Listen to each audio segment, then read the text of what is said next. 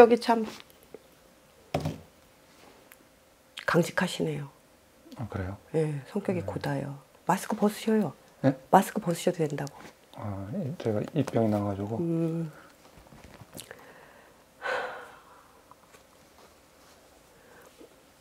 본인 촛불 밝히고 가야 되는 사주인데 네, 저희 집안이 좀 네. 절 쪽으로 많이 엄마가 할머니 때부터 계속 하셨어요. 그때 불리던 분 계신 거 아시고 얘기만 들었는데 얘기 들으셨죠? 예, 얘기만 들었습니다. 불렸다기보다는 숨어서 하셨지. 글쎄요, 뭐 숨어서. 그 두 분이 계셨다고 하더라고요, 할머니가. 근데 본 할머니는 많이 이제 그냥 그 옛날 분처럼 이렇게 많이 비셨고, 또 후처 할머니가 예, 예, 해줬다고 하시더라고요. 그렇게 만 들었어요. 예, 숨어서 뭐 이길 갔어요. 숨어서. 그 얘기만 들었어요. 음. 절에다 촛불 고- 발언할 게 아니라 우리네한테 촛불 발언하셔야 돼요, 본인. 음, 네. 네. 타고난 날이 달 생일이 그래요. 네. 지금 되는 일이 안 되잖아요. 되는 일이 안 되잖아요. 되는 일이라면은 지금 제가 지금 하고 계신 일들이 네. 그 전보다 뭐랄까 안 되잖아요. 지금은 예전보다는 마음이 편해요. 마음 편하고 금전은요. 금전은 많이는 못 벌어도 그냥 편해요. 예, 뭐 금, 금전이 들어왔다 다 나가죠. 그냥 뭐 쓰는 건 있으니까.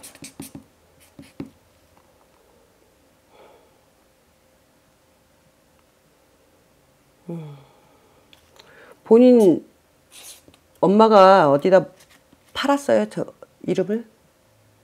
그러니까 무속적으로 아니면은 그러니까 어디든 절이든 우리네든 뭐 그거는 아니고 그냥 그 절그 시골에 예.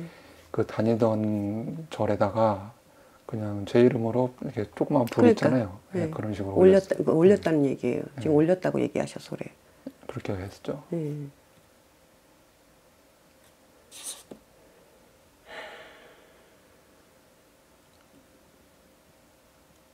어렸을 때는 그래도 좀 사셨네. 지금 마흔여섯. 지금은 오십 하나. 마흔여섯. 마흔여섯 때 많이 안 좋았어요? 전후. 마흔여섯 전후. 마흔여섯 정도 됐을 때는 이제 제가 그때 장사를 했었는데 그때 이제 어머니 돌아가실 때쯤 된 거죠.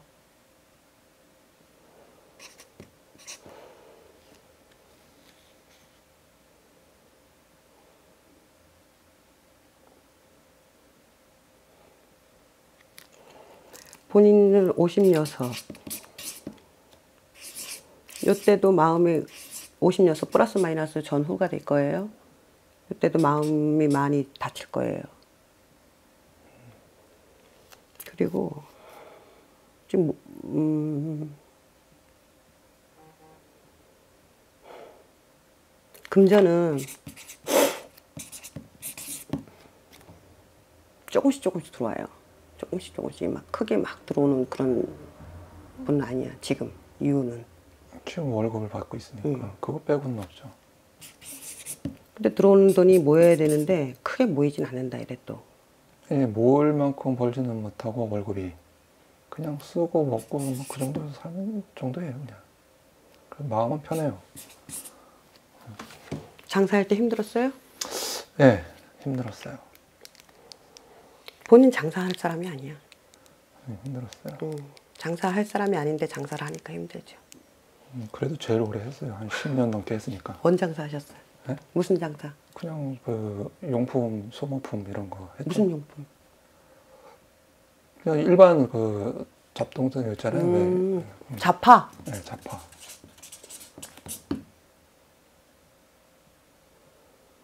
지금은 왜 오셨어 근데? 아, 제가 이제 그 상속을 받은 땅이 있는데 그 이제 작년 올해 이제 그 됐거든요. 아버지 돌아가시면서. 근데 그거를 이제 팔려고 하는데 그게 이제 팔릴까 하는 거죠.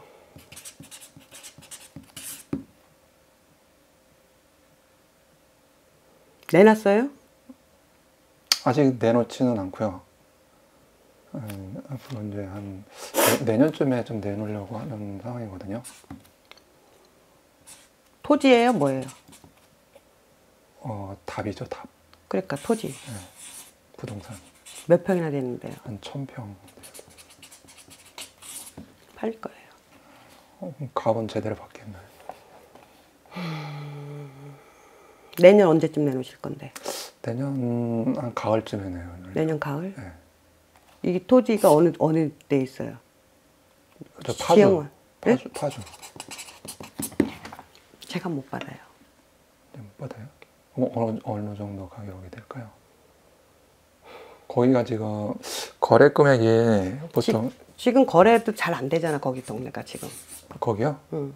거기는 거래가 잘 안 되진 않아요. 근데 이제 외지 사람들이 많이 와서 거기가 이제 그 혐오 뭐 그런 게 없어가지고 또 임진강 옆이라서 근데 그거 왜 팔을 나래? 예? 그거 왜 팔을 나래? 가지고 있지? 그냥 그 타서 이쪽으로 땅을 살려고 하는 거죠. 그쪽에 이제 형이 살고 있어서 이거 팔게 되면 다 흩어지겠는데? 어, 뭐 그래요. 집 사놓고 그렇게 해놓으려고 하는 거죠.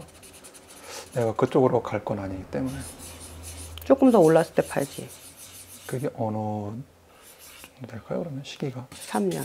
3년, 3년 이후. 왜냐면 내년쯤에 매매가 된다 해도 제가 못 받았고 제가 못 받아서 팔았다 해도 지키지 못한다 해. 돈 들어온 순간에 나갈 때가 많이 생긴다는 얘기야. 찢어 발린다는 얘기야. 그래요. 그런 생각하고 있잖아 지금. 아니 일단은 이제 집 사고 이제 그럴 생각을 하고 있는 거죠. 이쪽이 이제 아무래도 좀 그 아파트 값이 싸니까 조금 더 냅뒀다 팔아요. 지금 지금 여기도 거품이 빠지고 있잖아. 예.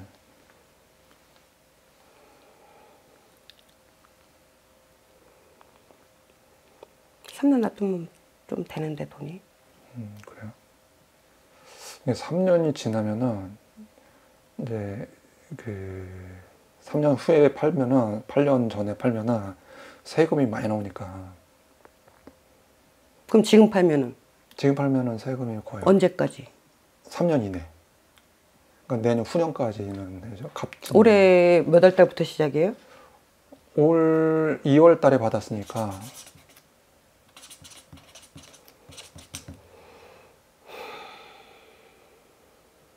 내년가 24년 1년이면 25년 1월 전엔 팔아야 되네. 그렇죠. 안 그러면은 한 5년 정도 더 있어야 돼요. 그럼 8년 그 농사진 흔적이 있으면은 되거든요. 8년 정도가 기간이 있어야 돼요. 더 5년 후- 더 있어야 되는 거죠. 지금 50 하나잖아. 둘, 셋.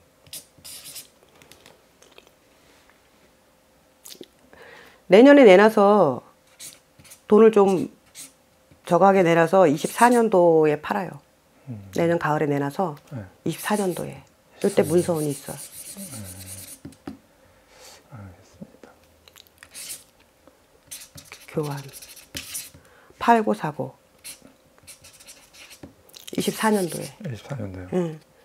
왜냐하면 팔았다고 해도 사는 문서가 없으면 못 사. 운이 돈이 있다고 사는 게 아니야. 아다리가 아다리라고. 그게 맞아야 돼. 근데 23년에는 사는 운이 없어. 24년에 운이 있단 말이에요. 네. 그러니까 24년도, 23년도 말에서 24년도 중 하반기, 하반기, 중반기, 6월 그때쯤 또 매매운이 있는데 음, 그때 그때쯤에. 음. 그리고 제가 지금 직장 생활을 하는데 계약직으로 있거든요. 근데 내년엔 이제 1년씩 계약이기 네. 때문에 내년에 거기를 계속 다닐 수 있을까 네. 가능해요. 네. 뭔 일인지 모르지만 된대요. 음.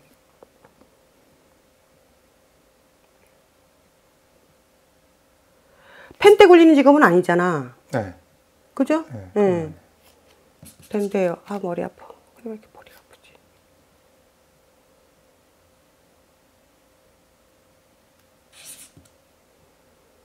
본인은 초를 밝히고 가야 되는 사주예요. 조상이 많이 왕래하는 분이라고요. 본인은 집안에 무슨 일이 있거나 경조사가 있거나 이런 본인이 알게 모르게 먼저 받아요. 근데 요즘에는 요즘엔 좀 덜해요. 예. 그전엔 예전, 그- 예, 음. 예전에는 음, 45 전까지만 해도 음. 꿈이 거의 100%였거든요. 음. 근데 이제 요즘에는 이제 꿈도, 다시 시작할 거예요. 꿈도 잘 안 꾸고 다시 시작할 거라고. 음. 잠시 잠깐 저거인 거지 없어지지 않았어요. 그래서 저는 좀 조용해져가지고 좀 편해졌거든요. 본인이 본인 사주가 어떤지는 알고 계시죠 지금 지금 이 나이에 뭐 그거 모르진 않을 거고 좀 많이 겪었으니까 이것저것 많이 겪었으니까. 파란을 음. 많이 겪었죠. 네. 그래서 됐죠. 그 제가 직업이 그 이제 내년 하면은 끝나잖아요. 2년 정도 하면. 그러면 제가 직업을 두 가지를 생각하고 있거든요. 하나- 내년 이- 이거 올해 이제 재계약 들어가면 1년 더 하고 네, 그 다음에 다른 거. 예, 2년, 2년 하면은 못 하거든요. 그러니까요. 1년, 1년 예. 쉬어야 되거든요. 음, 그러면은 그 1년 쉬고 다시 할 수가 있는데 음. 그거를 다시 하면 되겠네요. 그 안에는 그 그럼 안에- 1년 노를 거야? 아, 1년은 그 저기 뭐야 제가 두 가지를 본- 저기 공부를 하려고 했잖아요. 음. 하나는 그 경매 공부 좀 하려고 하고, 경매? 예. 음. 또 하나는 그 공예 있잖아요. 예. 유리 공예. 음. 그거를 좀 해볼까 했거든요. 손재주가 있잖아 본인이. 예, 있죠. 음. 공예 쪽이 날 것 같아. 어, 유리 공예. 그리고 경매는 공예 쪽 하면서 경매는 틈틈이 공부해서 본인이 실습하면 되잖아. 음, 그래도 되죠. 그죠? 네. 그래 두 가지를 같이 가야지. 공예는 막말로 공예는 음, 바꿀면 주기 딱상이잖아. 음, 그렇죠. 한 번에 되는 게 아니기 때문에 음, 시간이 필요한 음. 거고. 그 이거는 그러니까 음, 취미 비슷한 그런 그쵸. 저거잖아요. 예? 그쵸. 맞죠? 예. 그 취미 활동을 하면서 이걸 해. 그냥 근데 본인이 머리가 네. 아주 좋은 머리는 아니야. 예, 머리는 안 음. 좋아요. 그냥 한 가지만 해요. 음. 한 번에 두 가지 세 가지를 못 해. 예, 한 가지만 집중적으로 음. 해야 돼요. 그 뭐라래 꽂힌다래지. 예. 그게 강렬해 본인은. 그래도 공예를 하려고 하는 음. 거예요. 그 취미로 시작해서 본업이 될 수도 있잖아 이거는. 근데 네. 당장은 취미이기 때문에 먹고 살기가 힘들다 이래. 음, 그러니까 먹고 살 궁리는 딴 걸 해야 되겠죠. 그렇죠. 응. 꽂히는데 너무 꽂히다 보면은 시가다 가요. 조심하셔. 근데 뭐 제가 이렇게 보면은 그렇게 막 미쳐. 예, 비- 미치게 하지는 않더라고요. 독하잖아.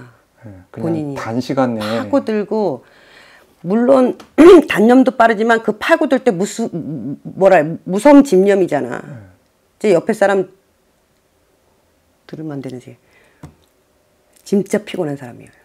옆에 사람이 근데 나이가 먹으니까 많이 유해졌어요? 네, 많이 그건 본인 생각이고 많이 유해졌어요. 본인이 좀 유해졌다고 생각하는 거고 사람들하고 이게 많이 이제 그 저거를 대화를 안 하니까 많이 무뎌졌어요. 음, 부딪히는 일이 없으니까. 근데 장사할 때는 많이 부딪혀야 되잖아요. 그때는 엄청 예민했거든요. 음. 근데 지금은 그런 게 없고 이제 좀 이게 밖으로 이제 많이 돌다 보니까 아, 그런 게 좀 없어서 본인 지금 몸 괜찮아요? 좀 안 좋아요. 그죠? 네. 몸이 안 피곤해요. 좋다. 내가 자꾸 눈이 계속 치하게 내려가고 음. 두통도 심하신가 봐. 두통보다는 음. 좀 피곤해서 간 쪽이 안 좋은 것 같아요. 제가 지금 술 많이 해요? 아니요. 많이 안 해요. 간이 아닌 것 같아. 음, 그래요. 아, 위쪽도 안 좋아요. 음. 소화기가 좀 안 좋아요. 면역력도 많이 떨어진 것 같고. 네. 몸이 많이 무- 그러니까 이게 마흔여섯 이후부터 몸이 무너지기 시작했을 거예요. 조금 조금 본인이 그때 알았는지 몰랐는지 모르지만 여섯 지나면서 일곱 여덟 아홉 이렇게 지나가면서 지금 많이 아홉 살 때 좀 많이 느, 그때부터 느꼈을 것 같아.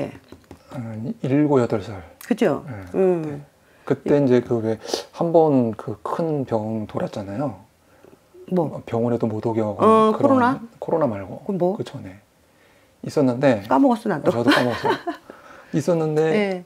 그때 좀 이렇게 감기 몸살처럼 음. 앓고 지나갔거든요. 음. 그때부터 좀 몸이 그러니까 확 갔어요. 마흔여섯 살부터 몸이 무너지기 시작하면서 본인이 직접 느끼기 시작한 거는 마흔아홉에 직격타로 느꼈다 이래. 맛이 확 가기 시작. 건강 관리 잘 하셔야 돼요. 혼자 있다 보니까 그게 좀 힘들죠. 그래도 뭐, 뭐 혼자 뭐 혼자 있다고 밥 못 먹어요? 그러니까 많이 굶죠. 이제 때를 걸 제때로 못 먹고 근데 많이 이렇게 걸르는 경우가 많다 보니까 반대로 안 되더라고요.